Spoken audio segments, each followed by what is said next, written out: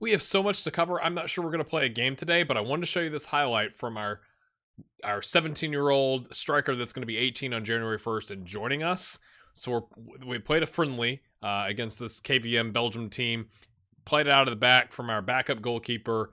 Here, here. I mean, it's triangles. It's beautiful. But I just thought, oh, he's like, yeah, I could play in this game. This is the 95th minute. Look at this. Doinkage! Doinkage, keeper's coming out, does it from the top of the box. Oh, ho, ho, ho. if that's a sign of things to come, I'm excited.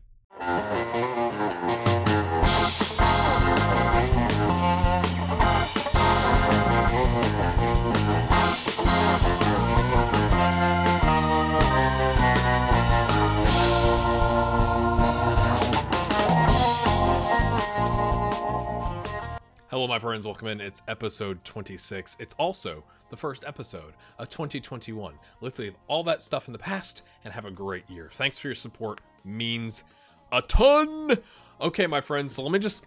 Oh, there's been so much. We've we've essentially had a consortium, and I I I think I've seen this once before, but essentially the consortium link said that this person was going to heavily invest in the club to get majority ownership, I think, and then float the club on the stock market. And I was like, what? What is happening? And then it fell apart. Although it does say, well, he might come back in the future. Like he's still looking to invest in Dutch football. And I'm like, what is happening? The only result that you've not seen is Heracles. Um, we beat them 2-0 away from home. Panya and Vecchia getting goals. We played, as you can see, a bunch of friendlies, including against Genoa. Um, and that was that was kind of nice. So um, we played pretty well. Now, you know, it's kind of hard to judge because, you know, these are Belgian Pro League A teams. You know, if you look at the league comparison, that's a ninth, you know, in, in Europe type league. So fairly decent and currently in fifth place. And then KV Mechelen is currently in 16th place. So you'd think we probably should have done better there. Although it was essentially how I did the friendlies was the first friendly against Zult Vargem, Vargem, Vargem, Zult um, was our starters, and then the next one was pretty much all the backup players, and then going back and forth to get everybody's match sharpness up. And so I guess maybe it's fair that it was 3 2, um, you know, dealing with it that way. So um, we've gotten uh, Go Ahead Eagles as our Dutch Cup second round, and they are 19th in the league below us, which is kind of tragic. We have done some transfer business, but it's all out, essentially. So Lars Vesenar, which was one of our mediocre goalkeepers, we've sold for 30 and a half grand with no sell-on uh, fee or anything like that.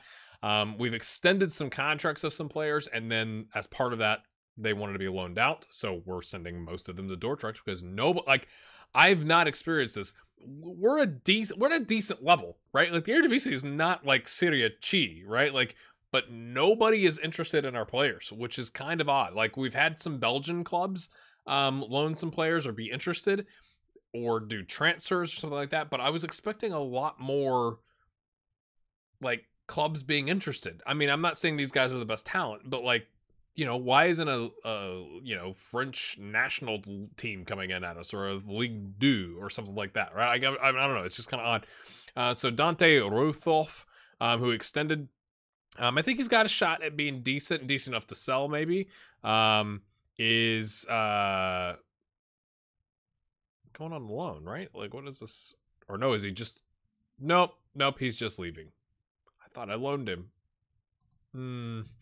Um, Juan Camilo Castillo shows up tomorrow. he may slot right in.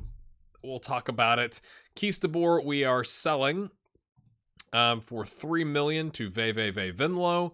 Um, he wanted to go. He's upset. It's slightly more than his current value. I'm totally fine with it, to be honest with you, completely.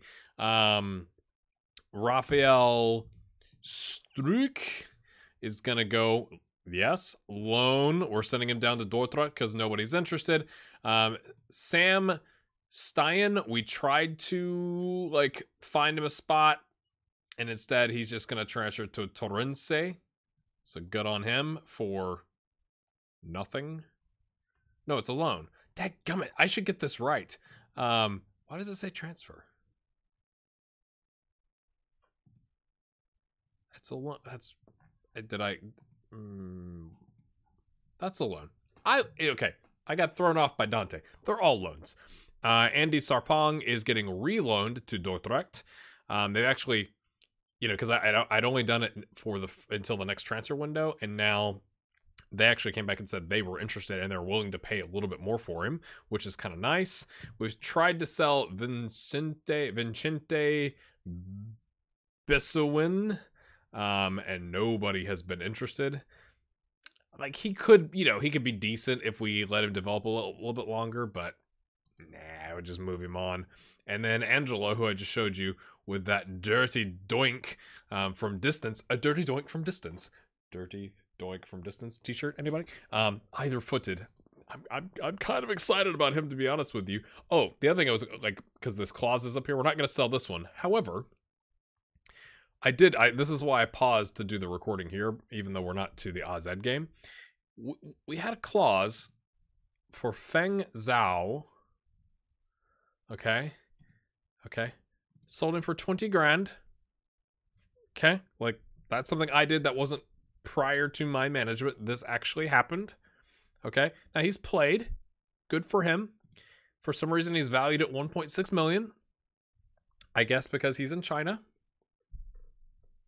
I guess he's making 6.75k a week. Are you serious? Are you serious? This guy's making 6.75k a week. That's unbelievable. However, we had a um a 30% profit that we could sell for 1.8 million. Okay, you do the math there. Okay, let's do it live. That means he would have to sell for 6 million more than they paid for him, which was 20 grand. I just don't think that's going to happen. So we quickly cashed that out to take the 1.8 million. Thank you very much. Like that seems off to me. Like that seems broken. Is that a broken thing in Football Manager, or is that I'm just not familiar with the China? I know China, the Chinese league spends a ton of money on players, um, and then they, I think they clamp down on that. So like I'm just really not understanding this. So if you understand that, leave a comment. In other news, my friends, Panya and Aloise are gone on international duty to the Asian Nations Cup until potentially the middle of February until February, sorry, February 13th. Now, if they don't get out of the group stage, right, I guess it could end on the 21st. But I was like, excuse me? What? What? You, you're going where? Like, excuse me? This is significant. Um, Panya not as much. I mean, Panya's a great player, but and why why do we not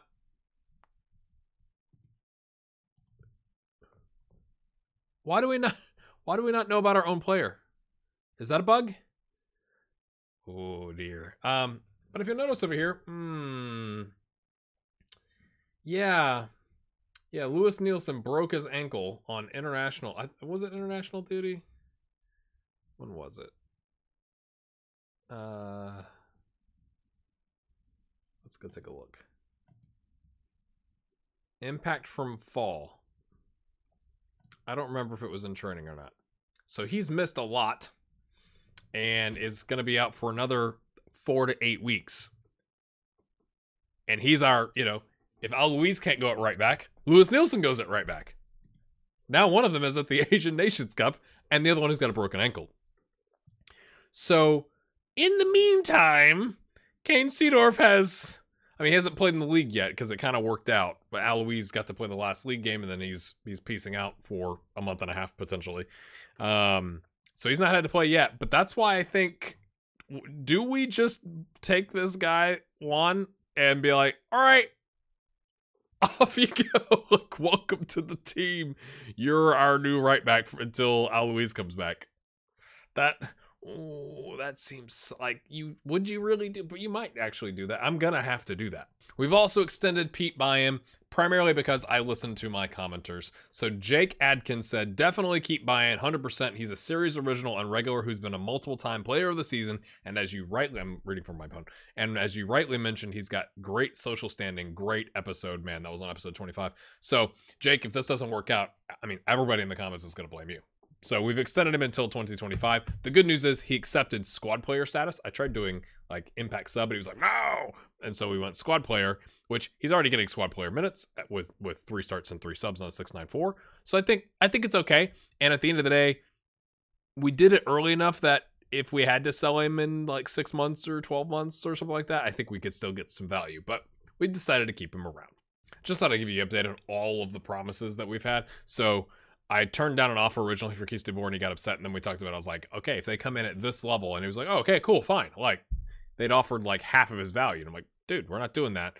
Um, the rest are just like find a loan player, which is what makes that Dordrecht affiliate link very, very useful because no one wants our players. We just send them all there. And in fact, let me, I'll show you Dordrecht here in a second. Um, and then everybody else is play youth players and they're happy with that. And Barack wants to be played an attacking mid as an advanced playmaker. It's interesting that he's very pleased because we played him a lot as deep lying playmaker in the midfield three, so which is kind of interesting. And of course, I told Lewis Nielsen here, hey, you know, we'll we'll, we'll play you when you come back. And he was like, oh yeah, yeah, cool, cool, cool, cool, cool, cool. Let me show you Dordrecht. Just look at their squad. One, two, three, four, five, six, seven, eight loaned players which is kind of interesting. At one point, they've they've obviously I think had some drop off in the transfer window or the beginning of the transfer window maybe or something like that. But like there was like even more blue here, and they're gonna get some more of our players. So it's kind of interesting. It's like they're 16th right now, um, which is actually you know better than you would expect for a club that just got promoted. But they are getting they're getting the job quasi done. I think you could say with everyone else's players, which is fine. You know, like I guess that that's one way to do it. You know, um, so this is where the standings are. We're in fifth place. Um, Utrecht above us and Ajax both have games in hand. AZ and Feyenoord below us have games in hand, but if they win those games, they won't jump us, even though we're playing AZ, right? So like that becomes a six pointer. We are doing quite well, I think, standing in fifth place. An average rating standpoint. Now let's talk about stats. So this is something that's been going around on Twitter. Um, in that key tackles are broken in uh, in FM which and I don't think it's the only one, but like this is saying no one in the Eredivisie has had a key tackle, which is clearly not true. like that's just not possible. So I- am curious what your thoughts are, right? Like it, it seems that there are a couple of stat things that have been wrong. Like I guess another thing the other day that was like showing the end of game XG was 2.73, but then when you went to like the match summary screen, it showed it as a 2.11. So there seems to be some odd things going on inside of FM, and we're we're well past the launch now. Like this to me is a pretty broken thing, right? Like the fact that key tackles aren't being tracked, or if they're being tracked, they're not showing up. So it's, it's either the match engine isn't recognizing when a key tackle happens, or it's recognizing it's happening, but it doesn't show up in any of the reporting, which I can only imagine is going to disrupt things like player ratings and value and stuff like that. I'm not an expert in the match engine and the stats behind all you know behind the scenes in FM, but I'm curious if you think it's a big deal. I, I kind of go, you know, like I've been enjoying playing. It's it's a trade, right? Like the match engine is so much better this year that does this bother me a little bit, but does it bother me so much that I would go, hey, let's go back to FM20? No, because I think the match engine is that much more enjoyable. But my friends, I think that's where I'm going to leave you at today because I, I don't want to try and cram two games into one episode. So I am going to bring you back to take on AZ and Go Ahead Eagles back to back matches in tomorrow's episode. Um, or in the next episode. I may throw some some other non FM videos in the mix here at the beginning of the year. But I just want to say thanks for all your support in 2020. It's been absolutely crazy. Um, looking to go from, I think the phrase is strength to strength in 2021. I hope you and yours are doing well. Hopefully, by the end of this year, life is returning to somewhat normal. And we'll see you next time. Make sure that like button, you hit it over there. Have a good one.